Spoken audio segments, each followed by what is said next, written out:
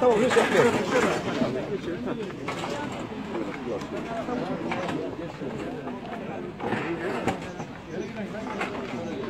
Tamam.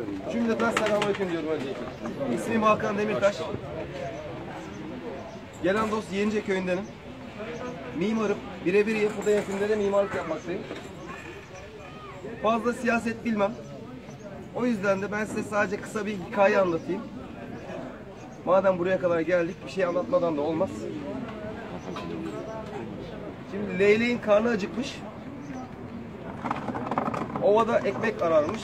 Derken aksakallı bir dede elinde bir dilim ekmekle Leyleğe gel demiş. Leylek de haliyle açlığın da etkisiyle ekmeğe ulaşmak için dedenin yanına gitmiş. Aksakallı dedenin yanına.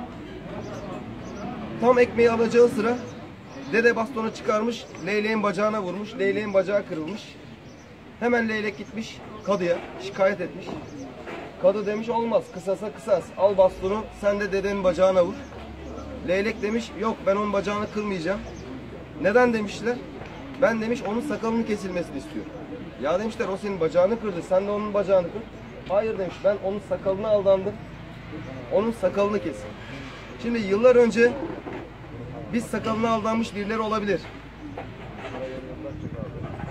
Yıllar sonrasında da biz aldandık diyenler olabilir. Aldatıldığını iddia edenler de olabilir. Ama şu kadar şu bir gerçek ki artık gerçek yüzleri ortadadır. Artık kimse aksakallıya inanmamaktadır. Milliyetçi Hareket Partisi olarak desteklerinizi, hayır dualarınızı bekliyoruz. Teşekkür ediyorum. Kısaca hikayem bu kadar. Allah razı olsun. Allah razı olsun.